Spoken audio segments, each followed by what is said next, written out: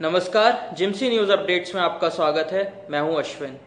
40 बरस के अपने सफ़र में नोएडा ने उद्योग के क्षेत्र में कई अहम मुकाम हासिल किए हैं। आज दुनिया के औद्योगिक नक्शे पर नोएडा का नाम सुनहरे अक्षरों में दर्ज है और राष्ट्रीय राजधानी क्षेत्र यानी दिल्ली एनसीआर में नोएडा की अलग पहचान बन चुकी है। ये जो तमाम बड़ी बड़ी कंपनियों के विशाल परिसर आप देख रहे हैं, आधुनिक औद्योगिक प्लांट जो आपको नज़र आ रहे हैं ये सब नोएडा के विकास की कहानी कहते हैं। दरअसल, आज से 40 साल पहले जब नोएडा, यानी नवीन ओखला विकास प्राधिकरण का गठन हुआ, तभी ये तय कर लिया गया था कि इस पूरे इलाके को उत्तर प्रदेश के उद्योगों के लिए एक अहम ठिकाने के तौर पर विकसित किया जाएगा। और इतने सालों बाद जब पीछे मुड़कर देखिए तो साफ़ हो जाता है कि कैसे यहाँ हर बड़ी कंपनी ने खुद को स्थापित किया और कैसे अब यहाँ 6000 से भी ज़्यादा मैन्युफैक्चरिंग यूनिट्स काम कर रही हैं।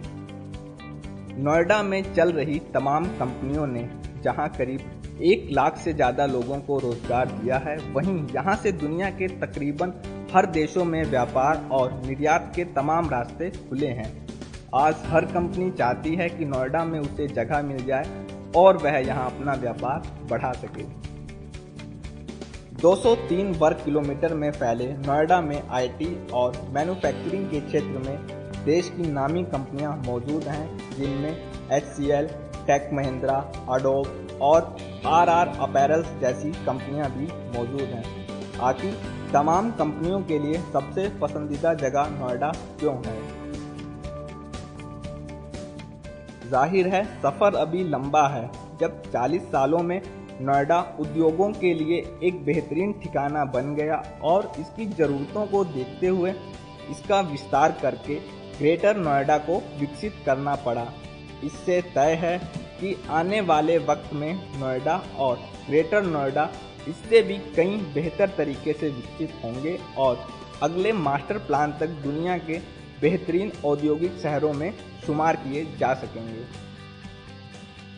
नोएडा ने बीते 40 वर्षों में विभिन्न क्षेत्रों में तरक्की की है। परंतु अब हम उस क्षेत्र की बात कर रहे हैं, जो किसी भी देश या शहर को बनाने के लिए सबसे महत्वपूर्ण होता है। नोएडा आधुनिक शिक्षा का एक बड़ा हब बन गया है। पेश है एक रिपोर्ट। देश भर के तमाम छात्र अच्छे और उज्जवल भविष्य के लिए यहाँ आते हैं। छात्रों की भीड़ को देखते हुए यहाँ की शिक्षा के स्तर का अंदाज़ा लगाया जा सकता है। शिक्षा स्तर की बात अलग रखी जाए। तो इसके अलावा इन इंस्टीट्यूशंस का बुनियादी ढांचा भी युवाओं के आकर्षण का केंद्र बना हुआ है। बेहतर शिक्षा के लिए नोएडा में अच्छे कॉलेज एवं इंस्टीट्यूशंस की भरमार है, जिनमें एमिटी, जयपुरिया, गलगोटिया एवं शारदा जैसी बड़ी यूनिवर्सिटी के साथ साथ शिवनादर एक्यूरेट आफ्ट एवं पर्ल यूनिवर्सिटी जैसे निजी संस्थान भी शामिल हैं। साथ ही यहाँ बच्चों की शिक्षा के लिए भी DPS Vanasthali DAV Jaipuria APJ एवं एमएटी पब्लिक स्कूल जैसे नामी गिरामी स्कूल हैं। नोएडा एक आईटी हब की तरह भी विकसित हो चुका है और आने वाले वक्त में कई और अंतर्राष्ट्रीय स्तर के संस्थान यहाँ नज़र आने वाले हैं। कई गाँव के हिस्सों को मिलाकर एक खूबसूरत शहर के तौर पर विकसित किया नोएडा आज आधुनिक जीवन शैली का परिचायक बन चुका है। यहाँ मौजूद बड़े बड़े विशाल मॉल्स नोएडा के विकास को दर्शाते हैं और यहाँ आकर आप विदेशी शहरों की भी झलक साफ़ देख सकते हैं। भारत में भले ही मॉल का कल्चर 2001 से शुरू हुआ हो, लेकिन नोएडा आज अपने इन मॉल्स की वजह से ज़्यादा जाना पहचाना जाता है। नोएडा में शॉपिंग हो या मनोरंजन, दोनों ही यहाँ के मॉल्स में गए बिना अधूरा है। यहाँ के खूबसूरत और भव्य मॉल्स दिल्ली एनसीआर में अपनी खास पहचान बना चुके हैं।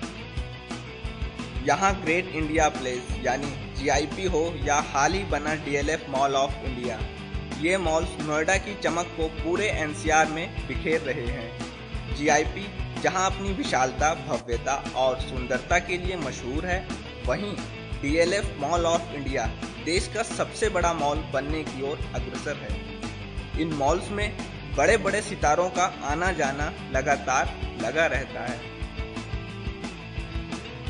इन मॉल्स में हर उम्र के लोगों की सुविधाओं का पूरा ध्यान रखा जाता है। बच्चों के लिए तो वर्ल्ड ऑफ़ वंडर्स जैसी तमाम मनोरंजन की जगह हैं। खाने पीने के बेहतरीन और हर रेंज के स्टॉल्स उपलब्ध हैं और खासकर युवाओं के लिए नोएडा एक बेहतरीन ठिकाना बन चुका है। जिमसी न्यूज़ अपडेट्स में फ़िलहाल के लिए इतना ही। अगले हफ़्ते हम फिर मिलेंगे कुछ नई खबरों के साथ। तब तक के लिए नमस्कार।